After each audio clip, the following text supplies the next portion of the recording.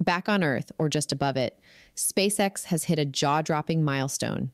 Their 139th mission of 2025, launching Spain's SpainSat NG 2 satellite on a Falcon 9 from Cape Canaveral on October 23rd.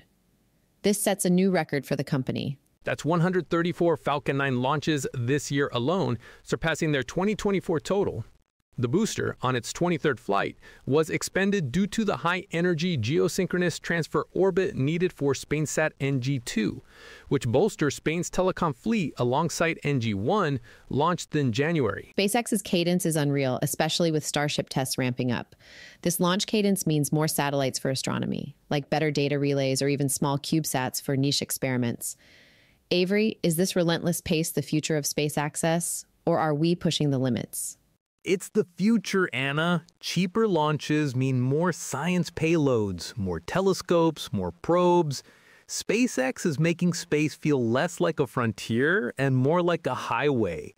What's next? A launch a day?